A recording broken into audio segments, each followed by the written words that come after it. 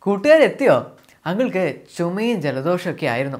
നിങ്ങളൊക്കെ സുഖമായിരിക്കുന്നോ ഈ രോഗങ്ങളൊക്കെ നമ്മുടെ ജീവിതത്തിൽ വരുമ്പോൾ നമുക്ക് ഒത്തിരി പ്രയാസമാണല്ലേ?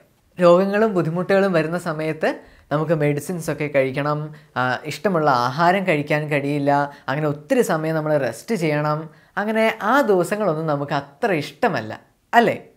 നിങ്ങൾക്കും അതുപോലുള്ള അനുഭവങ്ങളൊക്കെ ഉണ്ടായി കാണും. അങ്കിൾ ഈ സമയത്ത് ആലോചിച്ചത് ഒരുപാട് നാളുകളായി മാറാ രോഗം പിടിച്ചു കിടക്കുന്ന ആളുകളെക്കുറിച്ചാണ്. നിങ്ങൾക്കും അത്തരത്തിലുള്ള ആളുകളെ കുഞ്ഞുങ്ങളെ ഒക്കെ പരിചയം കാണും. കഴിഞ്ഞ നാളുകളിലൊക്കെ മാറാ രോഗമായി ചികിത്സയ്ക്ക് സഹായം അഭ്യർത്ഥിക്കുന്ന ഒരുപാട് ആളുകളെ നിങ്ങൾ ന്യൂസ് ചാനലിലൂടെയും അതുപോലെ പത്രങ്ങളിലൂടെയൊക്കെ കണ്ടിട്ടുണ്ടാവും. അപ്പോൾ അത്തരത്തിൽ ഒരു മാറാ രോഗം പിടിപെട്ട് കിടക്കുന്ന ചില ആളുകളുടെ ഫോട്ടോസ് അങ്കിൾ ഇപ്പോൾ കാണിച്ചു തരാം എല്ലാവരും സ്ക്രീനിലേക്ക് ശ്രദ്ധിക്കണം.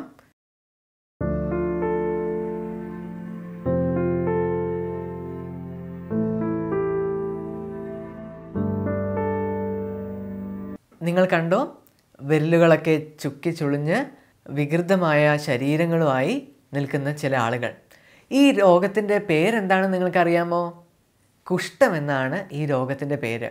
ഇന്നത്തെ കാലത്ത് ഇത്തരത്തിലുള്ള ആളുകളെ കൂടുതലൊന്നും നിങ്ങൾക്ക് കാണാൻ കഴിയില്ല. പക്ഷേ ഇന്നും നോർത്ത് ഇന്ത്യയിലൊക്കെ അനേക ആളുകൾ ഈ രോഗം ബാധിച്ച് കഴിയുന്നുണ്ട്.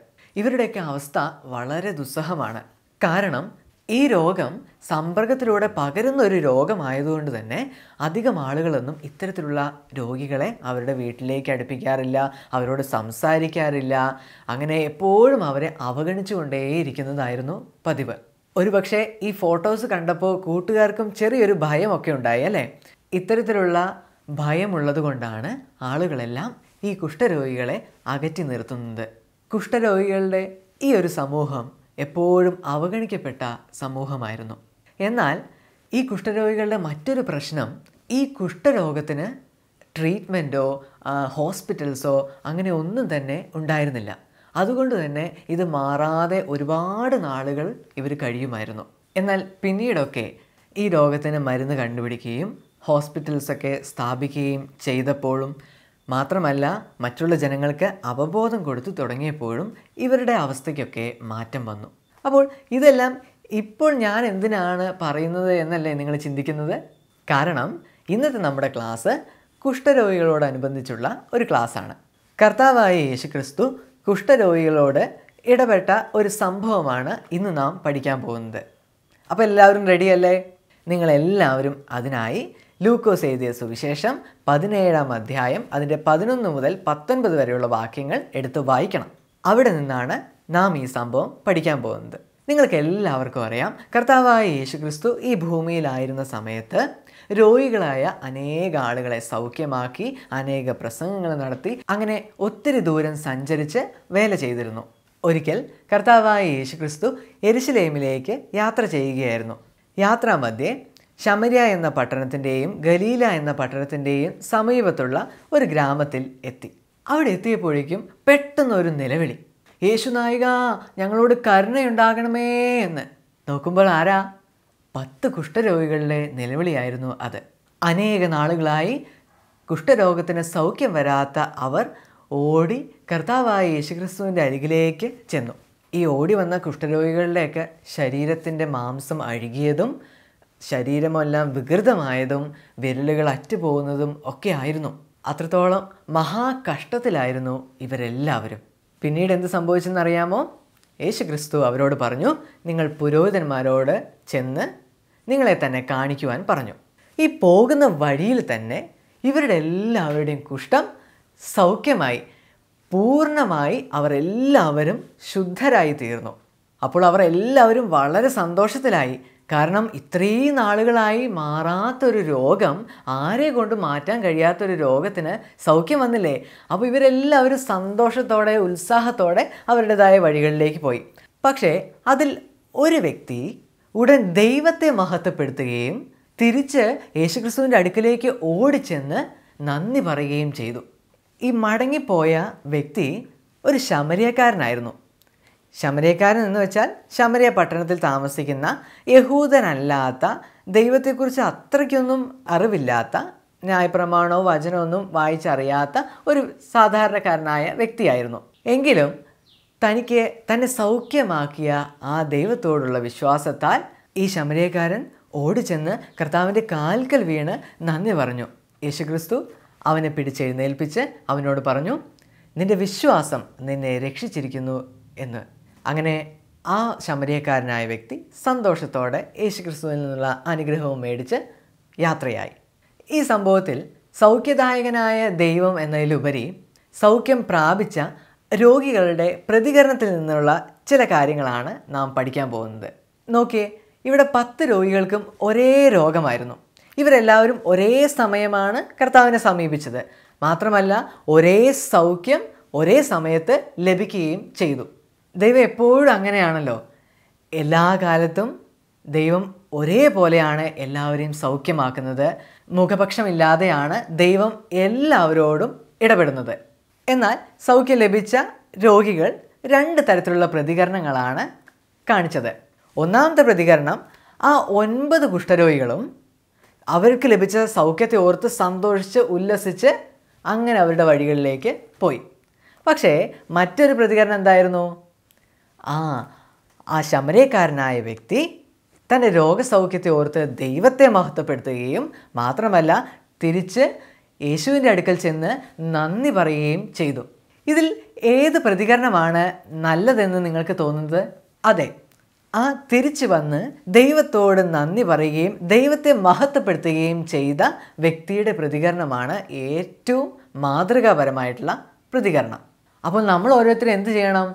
ഈ ശമരിയക്കാരൻ ചെയ്തതുപോലെ ദൈവത്തെ എല്ലാ കാര്യങ്ങൾക്കും എല്ലാ അനുഗ്രഹങ്ങൾക്കും എപ്പോഴും മഹത്വപ്പെടുത്തുകയും നന്ദി പറയുകയും ചെയ്യുന്ന മക്കളായി തീരണം അപ്പോൾ നിങ്ങളെല്ലാവരും ചോദിക്കും അതിന് ഞങ്ങൾ കുഷ്ഠരോഗികളല്ലല്ലോ എന്ന്. ശരിയാ കുഷ്ഠരോഗം നമുക്കില്ല. പക്ഷേ അതിനേക്കാൾ വലിയ ഒരു പ്രശ്നം ഒരു രോഗം നമുക്കുണ്ടായിരുന്നു. പാപമായിരുന്നു നമ്മുടെ പ്രശ്നം. ആ പ്രശ്നത്തിന് ഈ ലോകത്തിലെ ഒരാൾക്കും ഒരു സൊല്യൂഷൻസും കണ്ടെത്താൻ കഴിഞ്ഞിട്ടില്ല. ഒരു ഡോക്ടറെ കൊണ്ടും ചികിത്സിച്ച് മാറ്റാൻ കഴിഞ്ഞിട്ടില്ല. അത്രത്തോളം മാരകമായിരുന്നു ആ പ്രശ്നം. അതുമാത്രമല്ല ഈ ഒരു പ്രശ്നം അഥവാ ഈ ഒരു രോഗം വെച്ചുകൊണ്ട് ദൈവത്തിന്റെ സന്നിധിയിൽ ഒരിക്കലും നമുക്ക് അടുക്കുവാനും സാധിക്കുമായിരുന്നില്ല. കാരണം മനുഷ്യൻ ദൈവത്തോട് കാണിച്ച അനുസരണക്കേട് നിമിത്തമാണ് പാപമെന്ന ഈ പ്രശ്നത്തിലേക്ക് നാം വീണുപോയത്.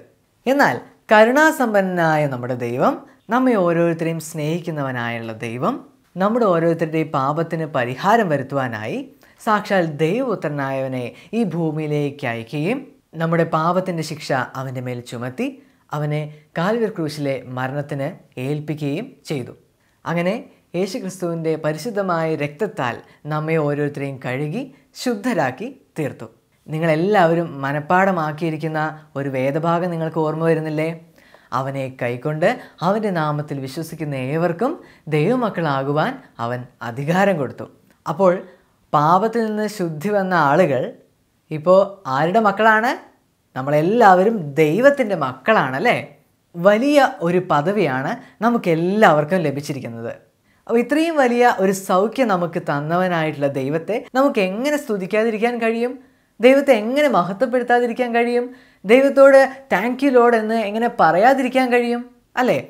അതുകൊണ്ട് നമ്മളെല്ലാവരും എല്ലാ കാലത്തും ദൈവത്തെ മഹത്വപ്പെടുത്തുവാനും ദൈവത്തോട് നന്ദി പറയുവാനും മനസ്സുള്ള ആളുകളായി തീരണം അതാണ് ദൈവം നമ്മളെക്കുറിച്ച് ആഗ്രഹിക്കുന്നത്. ഇത് മാത്രമല്ല നമ്മളെ ഓരോരുത്തരെയും ദൈവം സൃഷ്ടിച്ചു ഈ ഭൂമിയിലാക്കി വെച്ചു. നമുക്ക് ജീവിക്കാനായിട്ടുള്ള വായു വെളിച്ചം വെള്ളം അങ്ങനെ എല്ലാം നമുക്ക് തന്നില്ലേ? നിങ്ങൾക്ക് എല്ലാവർക്കും മാതാപിതാക്കളെ ദൈവം തന്നില്ലേ? കൂടാതെ ഈ ലോകത്തിൽ ജീവിക്കുമ്പോൾ നമുക്ക് എത്ര കഴിവുകളുണ്ട്? ചാടാനും ഓടാനും പാടാനും പഠിക്കാനും ഒക്കെ എത്ര എത്ര കഴിവുകളാണ് ദൈവം നമുക്ക് ഓരോരുത്തർക്കും തന്നത്. ഓരോ ദിവസവും കോഴി തന്റെ കുഞ്ഞുങ്ങളെ സൂക്ഷിക്കുന്നത് പോലെ ദൈവം നമ്മളെ അവന്റെ ചിറകടയിൽ സൂക്ഷിച്ചുകൊണ്ട് വഴി നടത്തുന്നു അല്ലേ? ഇത്രയും വലിയവനായിട്ടുള്ള ഒരു ദൈവത്തെ നമുക്ക് എങ്ങനെ മഹത്വപ്പെടുത്താതിരിക്കാൻ കഴിയും? നിങ്ങൾ ഇങ്ങനെ ഒരു പാട്ട് കേട്ടിട്ടുണ്ടോ? എണ്ണിയാൽ തീരുമോ? എണ്ണിയാൽ തീരുമോ? സ്വർഗീയ നിൻ കൃപകൾ. എണ്ണിയാൽ തീരുമോ? എണ്ണിയാൽ തീരുമോ? സ്വർഗീയ നിൻ കൃപകൾ. നിറയുന്നു സ്തോത്രങ്ങൾ. ആയിരം സ്തോത്രങ്ങൾ തിരുമുൻപിൽ ഇന്നിതാ ഏകിടുന്നു. നിറയുന്നു സ്തോത്രങ്ങൾ. ആയിരം സ്തോത്രങ്ങൾ തിരുമുൻപിൽ ഇന്നിതാ ഏകിടുന്നു. എണ്ണിയാൽ തീരുമോ? എണ്ണിയാൽ തീരുമോ? സ്വർഗീയ താത നിൻ കൃപകൾ. അതെ എത്ര എണ്ണിയാലും ദൈവത്തിന്റെ കൃപകൾ തീരില്ല അല്ലേ? ദൈവം നമ്മുടെ ജീവിതത്തിൽ ചെയ്യുന്ന നന്മകൾ അനുഗ്രഹങ്ങൾ എത്രത്തോളം നമ്മളൊരു ബുക്കിൽ കുറിച്ച് വെച്ചാൽ പോലും തീരാത്തത്രയും നന്മകളും അനുഗ്രഹങ്ങളുമാണ് ഓരോ ദിവസവും ദൈവം നമുക്ക് നൽകുന്നത്. അപ്പോൾ നമ്മൾ ചെയ്യേണ്ട കാര്യം എന്താണെന്നറിയോ? ഈ ദൈവത്തെ മഹത്വപ്പെടുത്തുക ദൈവത്തോട് നന്ദി പറയുന്ന ആളുകളായി തീരുക എന്നതാണ്. അതുകൊണ്ട് ഇനി മുതൽ നിങ്ങൾ രാവിലെ ഉണരുമ്പോൾ ആ ദിവസത്തിനായി ദൈവത്തിന് നന്ദി പറയണം. നിങ്ങൾക്ക് ഭക്ഷണം ലഭിക്കുമ്പോൾ അതിനായി നന്ദി പറയണം. നിങ്ങളുടെ ജീവിതത്തിൽ ഓരോ നേട്ടങ്ങളും അനുഗ്രഹങ്ങളും തരുമ്പോഴൊക്കെ ദൈവത്തോട് നന്ദി പറയാതിരിക്കരുത്. എപ്പോഴും ദൈവത്തോട് നന്ദി പറയുന്ന നല്ല മക്കളായി തീരണം. ഇതാണ് ദൈവം നിങ്ങളിൽ നിന്ന് ആഗ്രഹിക്കുന്ന ഒരു കാര്യം. അപ്പോൾ ഇന്നത്തെ ക്ലാസ്സിന്റെ അസൈൻമെന്റായി നിങ്ങൾക്ക് ഞാൻ തരാൻ പോകുന്നത് നന്ദി പറയുക എന്നൊരു ശീലം നമ്മുടെ ഉള്ളിൽ വളർത്തിയെടുക്കുക എന്നതാണ്. ഇന്നു മുതൽ തന്നെ നിങ്ങൾക്ക് ലഭിക്കുന്ന എല്ലാ കാര്യത്തോടും ഉടൻ തന്നെ ദൈവമേ സ്തോത്രം praise the lord thank you lord എന്നൊക്കെ പറയുന്ന മക്കളായി തീരണം. ഇപ്പോൾ ബ്രഷ് ചെയ്യുന്നതൊക്കെ നമുക്കൊരു ശീലമാണ് അല്ലേ? അതാരും നമ്മളോടൊന്നും പറയണ്ട. നമ്മൾ തന്നെ ചെയ്തോളും. അതുപോലെ തന്നെ ദൈവത്തോട് താങ്ക്സ് പറയുന്നതും നമ്മുടെ ഒരു ഹാബിറ്റാക്കി നമ്മുടെ ഒരു ശീലമാക്കി തീർക്കണം. ഓക്കെ അല്ലേ? അപ്പോൾ നമ്മൾ ഇന്ന് പഠിച്ച കാര്യങ്ങൾ എന്തൊക്കെയാണ്? നമ്മൾ പത്ത് കുഷ്ഠരോഗികളുടെ കഥയാണ് നാം പഠിച്ചത്. ആ പത്ത് കുഷ്ഠരോഗികൾ സൗഖ്യമായി. എന്നാൽ സൗഖ്യമായ കുഷ്ഠരോഗികൾ രണ്ട് തരത്തിലാണ് പ്രതികരിച്ചത്. ഒരു കൂട്ട് അവർക്ക് ലഭിച്ച സൗഖ്യത്തെ ഓർത്ത് സന്തോഷിച്ച് മുന്നോട്ട് പോയി. എന്നാൽ ഒരുവൻ ദൈവത്തെ മഹത്വപ്പെടുത്തുകയും ദൈവത്തോട് നന്ദി പറയുകയും ചെയ്തു. ആ രണ്ട് പ്രതികരണങ്ങളിൽ നിന്ന് ശമരക്കാരൻ ചെയ്തതായ ആ പ്രതികരണം നന്ദി പറയുക എന്ന പ്രതികരണം നമ്മുടെ ഒരു ശീലമാക്കി മാറ്റുവാൻ തീരുമാനിച്ചു. അപ്പോൾ ഇനി മുതൽ നിങ്ങൾ എല്ലാവരും ദൈവത്തോട് എപ്പോഴും നന്ദിയുള്ളവരും ദൈവത്തെ മഹത്വപ്പെടുത്തുകയും ചെയ്യുന്ന മക്കളായി തീരണം. അപ്പോൾ നമ്മൾ ഇന്ന് പഠിച്ച ഈ കാര്യം ഓർമ്മയിൽ സൂക്ഷിക്കുവാനായി ഒരു വാക്യം നമുക്ക് പഠിക്കാം. സങ്കീർത്തനം നൂറ്റിയേഴിന്റെ എട്ടാമത്തെ വാക്യം. സങ്കീർത്തനം നൂറ്റിയേഴിന്റെ എട്ടാമത്തെ വാക്യം. അവർ യഹോവയെ അവന്റെ നന്മയെ ചൊല്ലിയും മനുഷ്യപുത്രന്മാരിൽ ചെയ്ത അത്ഭുതങ്ങളെ ചൊല്ലിയും സ്തുതിക്കട്ടെ. അവർ യഹോവയെ അവന്റെ നന്മയെ ചൊല്ലിയും മനുഷ്യപുത്രന്മാരിൽ ചെയ്ത അത്ഭുതങ്ങളെ ചൊല്ലിയും സ്തുതിക്കട്ടെ. വളരെ എളുപ്പമുള്ളൊരു വാക്യമാണ്. നിങ്ങളെല്ലാവരും ഇത് മനഃപ്പാടമാക്കണം അപ്പോൾ ഇനി നമ്മൾ കണ്ടുമുട്ടുമ്പോൾ നിങ്ങളെല്ലാവരും ദൈവത്തോട് നന്ദിയുള്ളവരായിരിക്കണം. ആകുമല്ലോ? ആവണം.